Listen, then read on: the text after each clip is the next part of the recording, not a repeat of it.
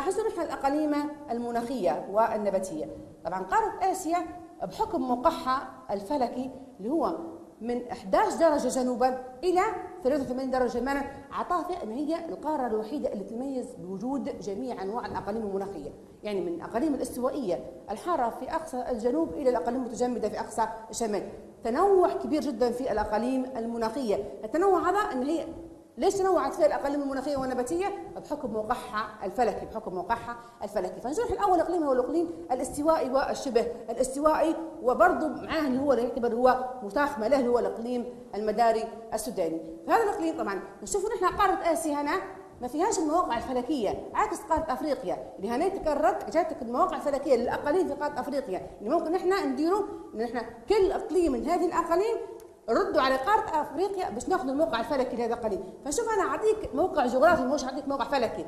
فالإقليم الاستوائي والشبه الاستوائي إحنا عرفناه من من درجة أو ال الموقع الفلكي بالنسبة للإقليم الاستوائي اللي هو من صفر إلى ثمانية. شمالا وجنوبا والقارة تميز إن هي قارة آسيا من 11 جنوبا إلى 83 درجة شمالا يبقى هنا فيها الإقليم الاستوائي. أعطيك الموقع الفلكي اللي هو من ثمانية شمالا وثمانية جنوبا. أعطيك أن هي مجموعة المواقع اللي هي يقع فيه المواقع الجغرافية. أعطيك مجموعة الجزر يقع اللي هي جنوب آسيا.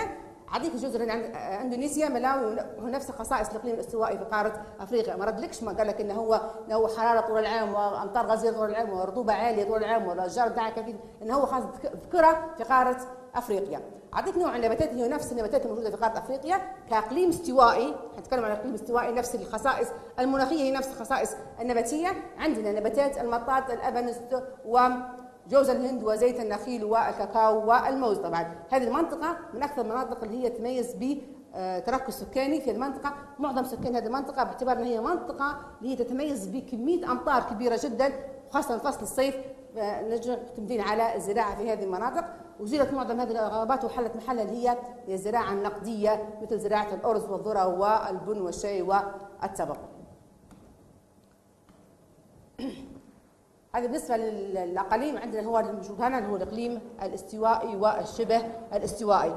يعني الموقع الفلكي بتاعه الموقع الجغرافي والموقع الفلكي من اللي هو من ثمانية في الشمال ومن ثمانية إلى الجنوب.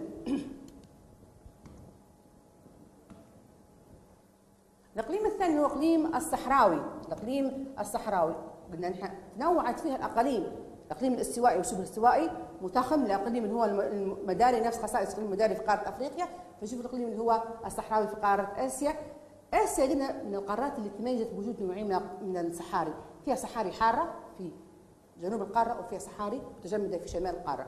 عرفنا نحن أنواع الصحاري الحارة. هي صحراء شبه الجزيره العربيه صحراء لوط صحراء ثار لكن صحاري حارة أما الصحراء اللي هي متجمدة أو صحراء اللي هي القارية وهي صحراء جوبي. فشوفوا نحن أنواع الصحاري. أنا اعطيك الصحراء اللي هي جوبي وهي عبارة عن صحراء باردة صحراء باردة. فشوف الإقليم الصحراوي موجود في هذه المنطقة. طبعا خصائص الإقليم الصحراوي خصائص الإقليم الصحراوي إن هو يتميز بالانخفاض اللي هو نتكلم عن الصحراوي اللي هو الحار. هو يتميز بارتفاع درجة حرارة أثناء النهار وانخفاضها أثناء الليل. يعني في تباين كبير في درجات الحرارة. أعتقد إنه هو يتميز راح تكون في فصل الصيف. فصل الصيف راح يكون شديد الحرارة فصل الصيف أثناء النهار وبرودة أثناء الليل. برضو فترة اللي هي الاختلاف ما بين النهار والليل أعطت تنوع اللي هو في أو سموا فيها التباين الحراري. عندنا طبعا النبات اللي موجود فيها نفس النبات اللي موجود في قارة أفريقيا ان هو يتحايل على الجفاف. بعده طرق إحنا عرفنا كيف يتحايل عليه. يا إما تكون الأوراق صغيرة أو وجود طبقة شمعية على الأوراق أو بمد جذور داخل التربة. طبعا أنواع النبات اللي فيها النخيل ويزرع القمح والشعير في منطقه شبه الجزيرة العربية. أقليم البحر المتوسط. طبعا أقليم البحر المتوسط راح يمشي معنا إلى آخر القارات اللي يقع في جميع القارات. اللي هو إقليم البحر المتوسط بالنسبة لقارة افريقيا قارة آسيا يقع في غرب القارة يتميز هذا الإقليم بانه هو حار جاف صيفا ده في ممطر شتاء موقع الفلكي متذكر لك في قارة آسيا ولكن ذكر لك في أفريقيا إنه هو من 30 إلى 40 درجة شمالا. هنا بالنسبة لقارة آسيا شمالا عكس أفريقيا عندنا شمالا وجنوبا. أعطيك طبعا نوع الغابات اللي فيه دائمه الخضرة. أشار اللي هو الفلين المطاط الأرز هذه الغابات اللي هنا موجودة في الحمضيات بصفة عامة بالنسبة للغابات اللي هي غابات الفلين الموجوده في إقليم البحر المتوسط في قارة آسيا. نجول الاقليم اللي هو المعتدل الدافي، الإقليم المعتدل الدافي أو الإقليم اللي هو الصيني، طبعا عرفناه ان يقع في أفريقيا، الإقليم الصيني دائما يقع في شرق القارات، نجول في شرق القارات، فشوف الإقليم الصيني أنا أعطيك اللي هو راح هن كلنا عبارة عن مناطق مش موقع فلكي كلها عبارة عن مناطق. فالإقليم الصيني اللي هو إقليم المعتدل الدافي اللي هو الصيني يشمل مناطق اللي هو الساحلية جنوب ووسط الصين جنوب ووسط الصين وجنوب اليابان وكوريا. طبعا هذه الدول راح تدرج معنا راح تدرج معنا في معظم الأقاليم ولكن اختلاف اختلاف في الموقع. عندنا هنا اللي هو الإقليم الصيني يقع في الجنوب هنا في الجنوب في دوله اللي هي الصين وجنوب. يابان والكوريا. باش يتميز؟ يتميز باعتدال الحرارة. صيفا. اعتدال الحرارة صيفا. دافي شتاء. نفس إقليم اللي هو الصين في قارة أفريقيا. هو يتميز باعتدال الحرارة صيفا ودافي فصل الشتاء وأمطار طول العام. أمطار طول العام سواء كان فصل الصيف أو فصل الشتاء.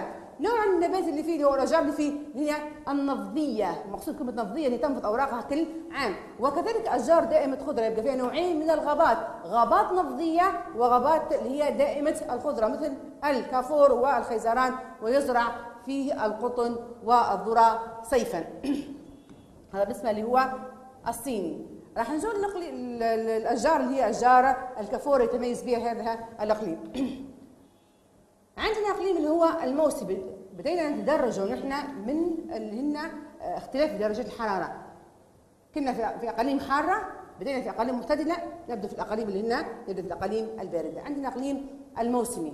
قال لك الاقليم الموسمي يتمثل في الهند والهند الصينية كدول في الهند والهند الصينية وجنوب الصين وجنوب غرب شبه الجزيرة العربية. شديد الحرارة وغزير الأمطار إمتى فصل الصيف. بسبب الرياح اللي هي الموسمية القادمة من المحيطين. وتنمو فيه اللي هي الغابات المطاط وجوز الهند والخيزران. هذا بالنسبة للإقليم الموسمي. عند الإقليم الموسمي هذا كلها أقاليم حارة. عندنا الاستوائي الشبه الاستوائي الصحراوي المتوسط. بدينا في الاحتداد ما بين المتوسط والصيني. بدينا في الموسمي هو موسم يعتبر هو نوع من الغابات المعتدله أو. الأقاليم المعتدله يتمثل في الهند الهند الصينية جنوب الصين وجنوب غرب شبه الجزيرة العربية شديد الحرارة وغزير أمطار في فصل الصيف بسبب الرياح الموسمية وتنمو فيه غابات اللي هي المطاط وجوز الهند والخيزران. نبدو في الأقاليم الباردة اللي هو الإقليم الموسمي البارد يبقى عندنا هنا إقليم موسمي وعندنا إقليم موسمي بارد موسمي بارد. نشوف نحن المناطق. كنا في في الصين وفي الهند كنا في الجنوب. نتجه نحو الشمال. يبقى الموسم البارد في شمال الصين واليابان وكوريا معتدل. حرارة صيفا نحن هنا كنا نتكلموا على أن فصل الصيف يتميز بغازات أمطار. يبقى هناهي أن الصيف تاعها حرارتها معتدلة. ممطر شتاء. ممطر شتاء. وبارد. وتنمو فيه غابات اللي هي الصنوبريه أو المخروطية من أهم أشجارها الصنوبر والسارو والشربين. يبقى من الإقليم الموسمي إقليم بارد. موسمي بارد. موسمي بارد معناته بدأت تنخفض فيه درجات الحرارة. في شمال الصين واليابان وكوريا معتدل الحرارة صيفا ممطر شتاء وبارد وتنمو به الغابات اللي هي الصنوبرية أو الغابات المخروطية أو الغابات الإبارية عند أكثر من تسمية. وعند من أشجارها هو الصنوبر وسارو والشربين. عندنا طبعا أزيلت معظم هذه الغابات وحلت محلها اللي هي الزراعة النقدية اللي هي مثل القمح والبطاطا والعنب والشوفان وطبعا نوع الحيوان في هذه المنطقة حيوانات ذات الفراء اللي تحمل انخفاض في درجات الحرارة خاصة في فصل الشتاء. بالنسبة اللي هي الجار الخيزران اللي هي موجودة في هذه الأقاليم.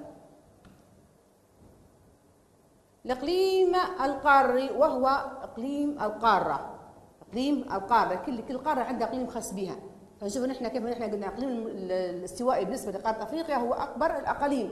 راح نشوف نحن الاقليم القاري البارد هو أكبر اقليم لأنه واخذ أكبر مساحة. فشوفوا هنا هو يقع في وسط وجنوب سهول سيبيريا واخذ مساحة كبيرة جدا. شتاءه طويل. باعتبار هي أصلا منطقة سيبيرية منطقة سيبيرية. شتاءه طويل شديد البرودة تنخفض في درجة الحراره خاصة فصل الشتاء إلى 40 درجة تحت الصفر. صيفها قصير وممطر معتدل نسبيا تنمو فيه الأشجار اللي هي المختلطة ما بين الصنوبرية والنفضية. نزول الإقليم اللي هو الموسمي البارد. الإقليم الموسمي البارد.